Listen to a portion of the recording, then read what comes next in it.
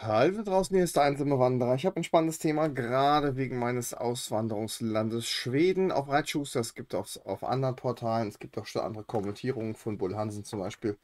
Ich greife das natürlich gerne auf, weil das ja meine Wahlheimat ist, weil ich die Problematik natürlich kenne und auch kannte, bevor ich hergekommen bin. Und äh, ja, hier ähnlich wie in Deutschland vielleicht ein bisschen krasser teilweise, äh, aber trotzdem halte ich die Situation insgesamt in Deutschland noch, ehrlich gesagt, für schlimmer in der Größe und Bedeutung. Aber sei es drum.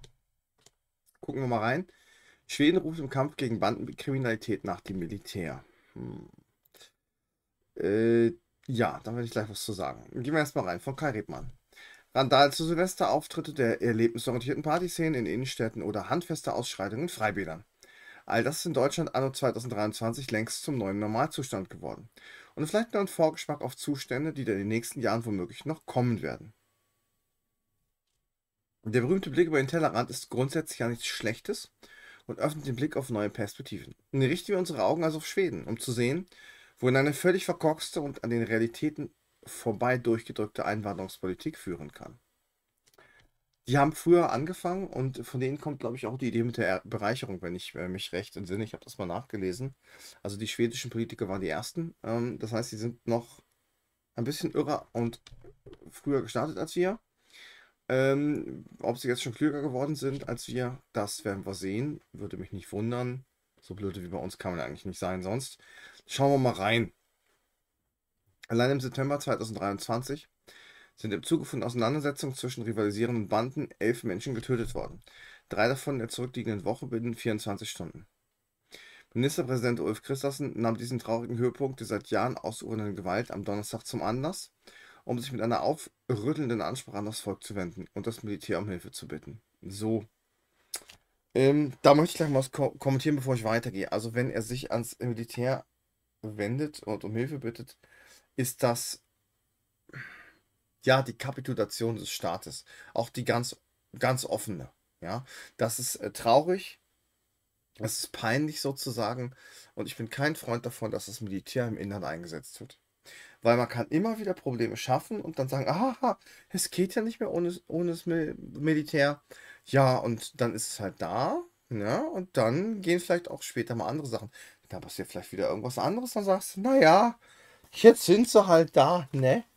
Und dann äh, auf einmal läuft über das Militär noch was ganz anderes als das, was man dir versprochen hatte. Und äh, das fürchte ich immer, ehrlich gesagt. Das ist natürlich immer eine Frage, äh, wie ein Militär ist, wie treu, sage ich mal, der Bevölkerung entgegen oder den Befehlshabern. Das ist natürlich immer eine strittige Frage. Ich kann das nicht einschätzen. Für das Militär hier in Schweden, das weiß ich nicht, wie das hier ist. Ähm, aber es kann eigentlich nicht sein, dass das Militär sozusagen die Versäumnisse von Politikern hier beseitigen soll. Und wie soll das auch gehen? Soll das mit Feuergefechten in den Straßen laufen? Also die Frage ist, wie stellt er sich das vor? Ich bin mal gespannt, was es gleich kommt.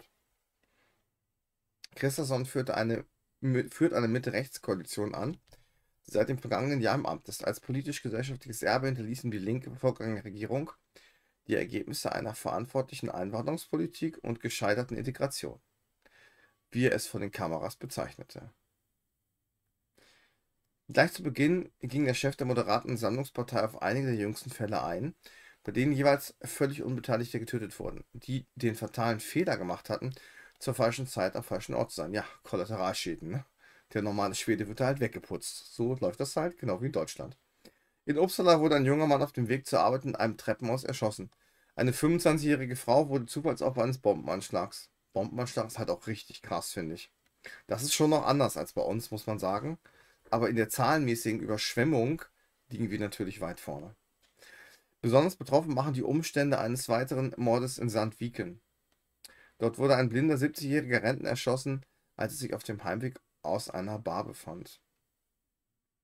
Sandviken ist bei mir um die Ecke, aber ich glaube, es ist ein anderes Sandviken, würde ich behaupten. Ich glaube nicht, dass das das hier war, schätze ich mal. Aber das kriege ich noch raus. Ja, ähm, gut. Hm, hier noch die Kommentierung, egal. Vor dem Hintergrund der Entwicklung in den vergangenen Wochen kündigte der Ministerpräsident an, sich mit Schwedens Polizeichef und dem Oberbefehlshaber des Militärs zu treffen, um zu prüfen, wie die Streitkräfte die Polizei im Kampf gegen die Banden unterstützen können. Alter, ist das krass. Sollen die Panzer in die Städte schicken oder was?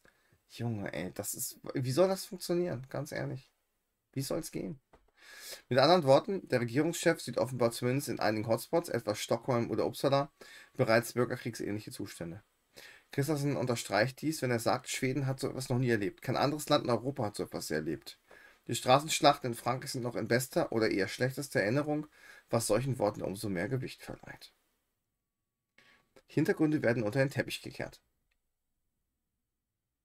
Äh, ich habe in anderen Zeitungen gelesen, dass es darum ging, ja, da hätte man so im Schulsystem so ein bisschen versagt und nicht richtig integriert wird, so ungefähr. Ja, also die üblichen Wortphrasen. Ich hoffe, dass Reitschuster hier gleich deutliche, deutliche Worte findet. Schauen wir mal. Kein sonderlich gutes Bild geben in der vorliegenden Berichterstattung einmal mehr die deutschen Medien ab, ne? was ich sage. Die Redelsführer der Banden stamm, stammen oft aus der Türkei bzw. dem arabischen Raum. Von diesen Details erfahren die Konsumenten der üblichen Verdächtigen hierzulande entweder gar nichts oder müssen im Kleingedruckten regelrecht danach suchen. Hier eine ganz wichtige Einschätzung und das ist auch nicht nur meine Einschätzung, ähm, sondern das sehen auch andere so, die sich mit der Thematik auskennen. Wir haben hier ein islamisches Problem. Wir haben ein ähm, arabisch-islamisches Kulturproblem. Die Leute, die das machen, das sind dominant eben Migranten. Das ist Migrantengewalt. Es sind nicht schwedische Banden, die das machen. Und das hat eben auch was mit der Kultur, der Religiosität zu tun, der Art und Weise, wie man die Welt wahrnimmt. Und ähm, dann gibt es natürlich auch immer noch diese Verklärung und diese Heroisierung, ja, Stichwort Rapmusik, ne? Und äh, im Prinzip, was die hier machen, ist das, was die, wofür die Schwarzen im, in den USA stehen, machen die Araber eben dann in Deutschland oder in Schweden. Das darf man nicht vergessen. Und ähm, du wirst das Problem nicht los, wenn du die Leute nicht brutal abschiebst, selbst wenn die hier geboren sind und einen schwedischen Pass haben. Diese Leute musst du loswerden, sonst werden die niemals in irgendeiner Form hier Ruhe geben. Diese Leute sind versaut, ja. Die wachsen in brutalen Gangs aus, auf, wo es äh, gut ist, andere umzubringen, weil man dann ähm, im Fame steigt, sozusagen in der Gang. Und wenn du in den Knast gehst, zwei, drei Jahre, ja, dann bist du quasi ein Hero. Man muss es so hart sagen, wie es ist. Das geht nur über harte, brutale Remigration, auch mit schwedischem Pass. Ansonsten kannst du das vergessen. Ja, das wird nichts. Und das ist in Deutschland genauso. Und das ist eine Wahrheit, die nicht gern gehört wird und äh, die auch so, so, so unglaublich schwer ist zu erfassen und auch durchzuziehen, dass sie gern nicht thematisiert wird und deshalb auch nicht umgesetzt werden wird. Weil, wenn du das hier lösen wolltest in Schweden oder in Frankreich oder in Deutschland, da würde das nur gehen mit einem Blutbad. Und das will keiner. Und genau das müsste es sein.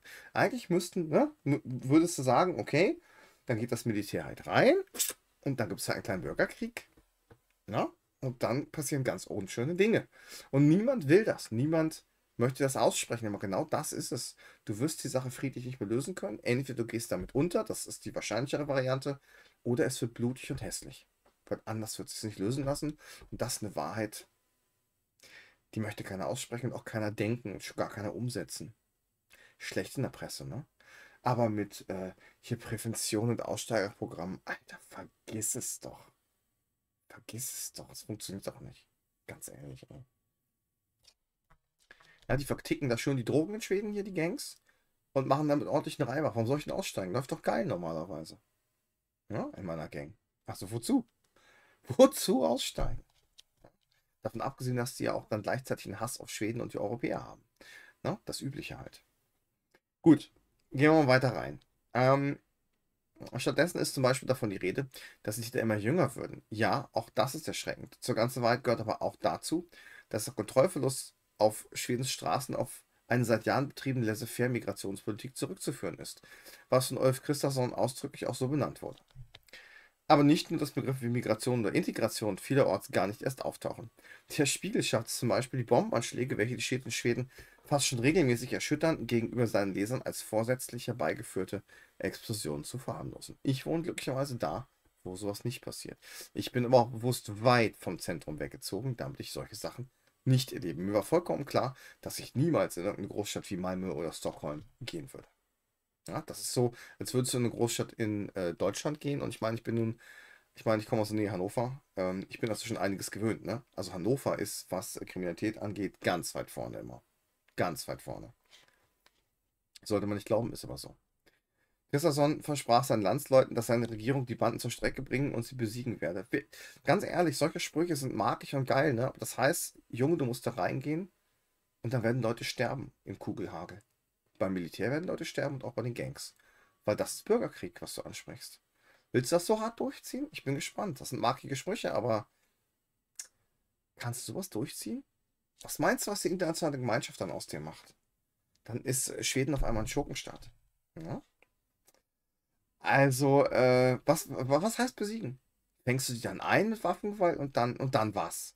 Dann gehen die in den Knast, kommen nach drei Jahren raus und sind, machen dann wieder das gleiche in ihren Gangs oder was? Was heißt, was soll das heißen? Zur Strecke bringen und besiegen.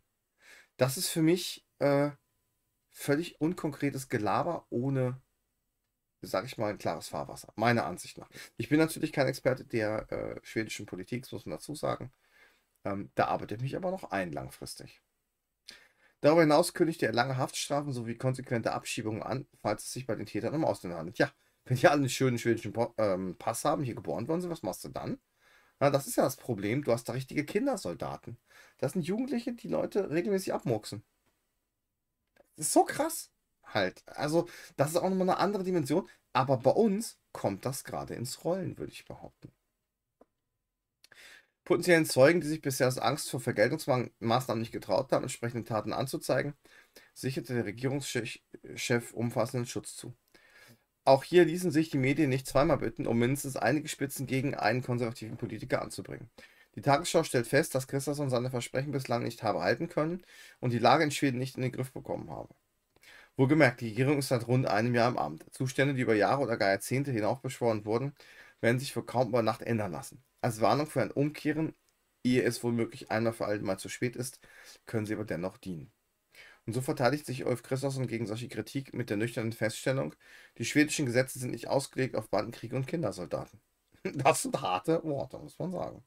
Man soll ja nicht unken, aber das gilt auch für Deutschland und die meisten, wenn nicht alle Länder in der EU.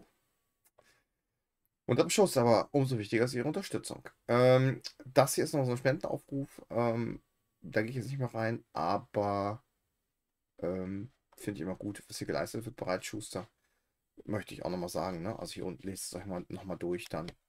Das ist der Spendenaufruf und den halte ich für absolut gerechtfertigt, denn der macht eine Menge durch, der Reitschuster. Ähm, und ist halt hier auch das ähm, Effort terrible, könnte man sagen. Ja, ähm, von daher, danke erstmal für den Kommentar hier an der Stelle an Reitschuster bzw. den Rebmann der bis jetzt immer klare Worte gebracht hat. Hm, ich bin gespannt, wie das hier laufen wird ob es hier wirklich einen krassen Ruck gibt und hier was anders ist. Das wäre mal eine Vorbildfunktion. Äh, Schweden könnte sich natürlich auch in einem anderen skandinavischen Land, nämlich Dänemark, orientieren. Darüber hatte ich ja einiges erzählt letztes in dem Video mit einer harten Politik. Aber ich sehe im Augenblick eher sprüchige Klopfe. Ich sehe natürlich auch, dass es eine schlechte Situation hat. Das ist klar, weil das ist seit Jahrzehnten ist das hier aufgebaut worden, das Problem. Genau wie in Deutschland. Das wirst du nicht so schnell umreißen. Aber äh, da muss mehr kommen als markige Sprüche.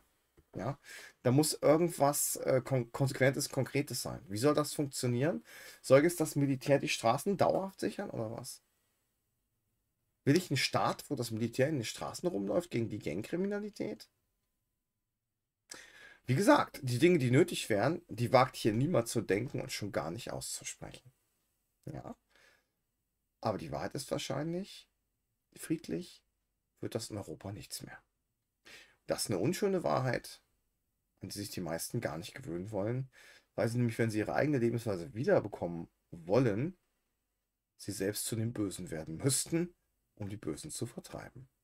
Darüber könnt ihr einmal nachdenken. Bin gespannt auf eure Kommentare. Wir sehen uns. Kommt auf den Zweitkanal Wandernder Wolf. Ihr kennt das. Getter, äh, Twitter bzw. X, ja, TikTok und so. Folgt mir, stützt mich. Ich würde gerne wachsen. Ich freue mich immer. Teilt das Video wenn ihr eine andere Meinung mal wollt und eine ungeblümte, dann seid ihr bei mir wahrscheinlich richtig. Macht's gut und auf bald.